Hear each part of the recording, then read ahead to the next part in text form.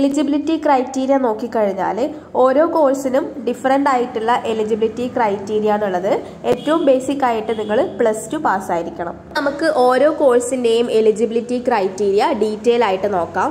ഒന്നാമത്തെ course B S C mathematics ആണ്. B S C maths പഠിക്കാനുള്ള എലിജിബിലിറ്റി ക്രൈറ്റീരിയ എന്ന് പറയുന്നത് പ്ലസ് ടുവിന് സയൻസ് സ്ട്രീമിൽ മാത്സ് നിങ്ങൾ ഒരു സബ്ജക്റ്റായിട്ട് പഠിച്ചിട്ടുണ്ടാവണം. അത് നിങ്ങൾ പാസ്സായിട്ടുണ്ടാവണം പ്ലസ് ടുവിന്റെ നിങ്ങളുടെ ടോട്ടൽ മാർക്കും അതുപോലെ തന്നെ മാത്സിന് കിട്ടിയ മാർക്കുമാണ് നിങ്ങളുടെ ഇൻഡെക്സ് മാർക്കായിട്ട് കാൽക്കുലേറ്റ് ചെയ്യുന്നത്. അടുത്തത് ബി എസ് സി ഫിസിക്സ് ആണ്. പ്ലസ് ടുവിന് സയൻസ് സ്ട്രീമിൽ ഫിസിക്സ് സബ്ജക്റ്റ് പഠിച്ച് പാസ്സായിട്ടുണ്ടാവണം അടുത്തത് B S C chemistry plus two with chemistry as one of the subject അടുത്തത് ബി എസ് സി സുവോളജി ആണ്. ബയോളജി ഒരു സബ്ജക്റ്റായി പഠിച്ച് പ്ലസ് ടു പാസ്സാവണം അടുത്തത് ജിയോളജി ആണ്. പ്ലസ് ടുവിന് ഫിസിക്സ് കെമിസ്ട്രി മാത്തമാറ്റിക്സ് ജിയോളജി അല്ലെങ്കിൽ സ്റ്റാറ്റിസ്റ്റിക്സ് ഇതിലേതെങ്കിലും ഒരു സബ്ജക്റ്റ് പഠിച്ചിട്ടുണ്ടാവണം. അടുത്തത് ജിയോഗ്രഫി ആണ്. നിങ്ങൾ പ്ലസ് ടു പാസ്സായിരിക്കണം നെക്സ്റ്റ് ഹോം സയൻസ് ആണ്. പ്ലസ് ടുവിന് നിങ്ങൾ കെമിസ്ട്രിയും ബയോളജിയും ഒരു സബ്ജക്റ്റ് ആയിട്ട് പഠിച്ച് പാസ്സാവണം നെക്സ്റ്റ് സ്റ്റാറ്റിസ്റ്റിക്സ് മാത്തമാറ്റിക്സ് ഒരു സബ്ജക്റ്റായി പഠിച്ച് പ്ലസ് ടു പാസ്സാവണം അടുത്തത് പോളിമർ കെമിസ്ട്രി ആണ്. കെമിസ്ട്രി ഒരു വിഷയമായി പഠിച്ച് പ്ലസ് ടു പാസ്സാവണം.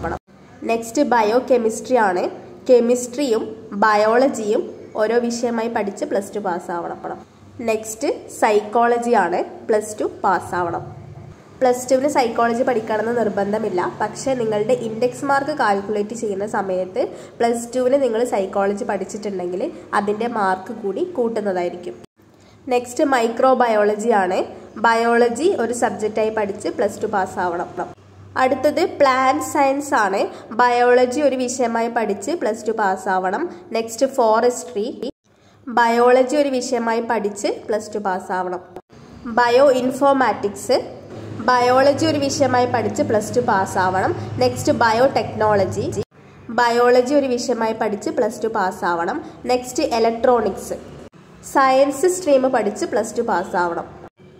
അടുത്തത് ലൈഫ് സയൻസ് ആണ്. ഇതിന്റെ എലിജിബിലിറ്റി ക്രൈറ്റീരിയ എന്ന് പറയുന്നത് ബയോളജി ഒരു വിഷയമായി പഠിച്ച് plus two പാസ്സാവണം. Next hotel management and catering science. ഏതെങ്കിലും ഒരു വിഷയത്തിൽ പ്ലസ് ടു പാസ്സായാൽ മതി. അൻപത് ശതമാനം മാർക്ക് വേണം. Next food technology. Physics chemistry biology അല്ലെങ്കിൽ മാത്തമാറ്റിക്സ് ഒരു സബ്ജക്റ്റായി പഠിച്ച് പ്ലസ് ടു പാസ്സാവണം. അടുത്തത് കമ്പ്യൂട്ടർ സയൻസ് ആണ്. സയൻസ് സ്ട്രീമിൽ മാത്തമാറ്റിക്സ് ഒരു മേജർ സബ്ജക്റ്റായിട്ട് പഠിച്ച് പാസ്സാവണം. അടുത്തത് integrated M S C in computer science artificial intelligence കോഴ്സാണ് പ്ലസ് ടു സയൻസ് പാസ്സാവണം. അതിൽ തന്നെ കമ്പ്യൂട്ടർ സയൻസ് അല്ലെങ്കിൽ മാത്തമാറ്റിക്സ് കമ്പ്യൂട്ടർ ആപ്ലിക്കേഷൻ ഒരു സബ്ജക്റ്റ് സബ്ജക്റ്റായിട്ട് പഠിച്ചിട്ടുണ്ടാവണം. Next costume and fashion designing plus two ഏതെങ്കിലും ഒരു സബ്ജക്റ്റിൽ പാസ്സായിരിക്കണം. B H S C course കഴിഞ്ഞവർക്ക് അൻപത് ശതമാനം വെയിറ്റേജ് ഉണ്ടായിരിക്കുന്നതാണ്. അടുത്തത് artificial intelligence and machine learning plus ടുവിന് മാത്തമാറ്റിക്സ് ഒരു മേജർ സബ്ജക്റ്റായിട്ട് പഠിച്ച് പാസ്സാവണം. ബി എസ് സി കോഴ്സുകൾ കഴിഞ്ഞു നെക്സ്റ്റ് ബി എ ആണ്. B A economics science commerce humanities ഇതിൽ ഏതെങ്കിലും ഒരു സ്ട്രീമിൽ പ്ലസ് ടു പാസ്സാവണം. നെക്സ്റ്റ് ഡെവലപ്മെന്റ് എക്കണോമിക്സ് ആണ്. ഏതെങ്കിലും ഒരു സ്ട്രീമിൽ പ്ലസ് ടു പാസ്സാവണം. അടുത്തത് അറബിക് ആൻഡ് ഇസ്ലാമിക് ഹിസ്റ്ററി. ഏതെങ്കിലും ഒരു സ്ട്രീമിൽ plus to പാസ്സാവണം. Next Urdu and Islamic history ഏതെങ്കിലും ഒരു സ്ട്രീമിൽ plus to പാസ്സാവണം. Next history philosophy social work. Political science political science history. ഈ ഡിഗ്രി എല്ലാം പഠിക്കാനായിട്ട് നിങ്ങൾ പ്ലസ് ടുവിന് ഏത് സ്ട്രീം പഠിച്ചാലും പ്രശ്നമില്ല. സയൻസ് ആണെങ്കിലും ഹ്യൂമാനിറ്റീസ് ആണെങ്കിലും കൊമേഴ്സ് ആണെങ്കിലും നിങ്ങൾക്ക് അപ്ലൈ ചെയ്യാവുന്നതാണ്. പക്ഷെ നിങ്ങൾ പ്ലസ് ടുവിന് ആ പെർട്ടിക്കുലർ സബ്ജക്റ്റ് പഠിച്ചിട്ടുണ്ടെങ്കിൽ അതിന്റെ മാർക്ക് കൂടി ഇൻഡെക്സ് മാർക്കായിട്ട് ഇൻക്ലൂഡ് ചെയ്യുന്നതാണ്. അടുത്തത് ബി എ മലയാളം ഹിന്ദി സാൻസ്ക്രിറ്റ് കന്നഡ. ഇതിൽ ഏത് ഡിഗ്രി ചെയ്യണമെങ്കിലും നിങ്ങൾ പ്ലസ് ടുവിന് ഏതെങ്കിലും ഒരു സ്ട്രീം പാസ്സായാൽ മതി. അടുത്തത് ബി എ അറബിക് ആണ്. Functional Hindi English functional English തുടങ്ങിയ ഡിഗ്രി കോഴ്സുകൾക്ക് അപ്ലൈ ചെയ്യാനായിട്ട് പ്ലസ് ടുവിനെ നിങ്ങൾ ഏത് സ്ട്രീമിൽ പഠിച്ചാലും കുഴപ്പമില്ല.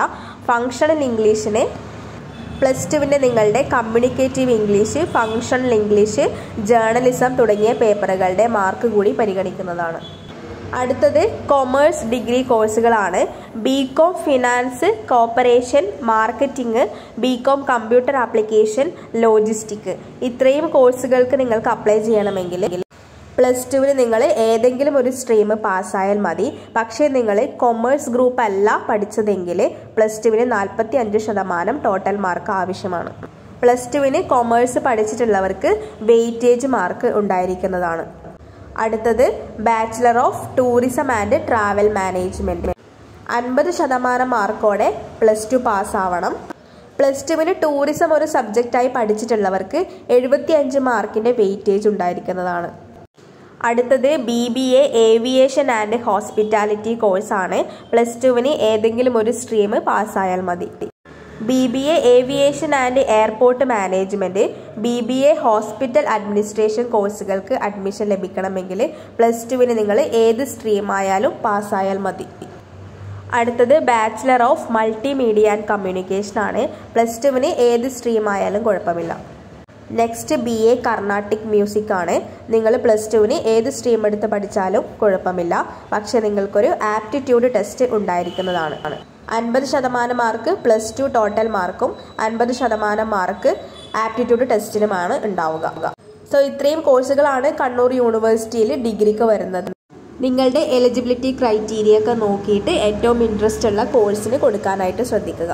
ഇനി ഏതൊക്കെ കോളേജുകളിൽ ഏതൊക്കെ കോഴ്സുകളാണ് ഉള്ളത് എന്നുള്ള കാര്യം നെക്സ്റ്റ് വീഡിയോ ആയിട്ട് ചെയ്യുന്നതായിരിക്കും. ഈ വീഡിയോ അത്യാവശ്യം ലെങ്തി ആണ് അതുകൊണ്ടാണ് ഇതിൽ ഇൻക്ലൂഡ് ചെയ്യാത്തത്. അപ്പോൾ നെക്സ്റ്റ് വീഡിയോ എല്ലാവരും കാണാനായിട്ട് ശ്രദ്ധിക്കുക.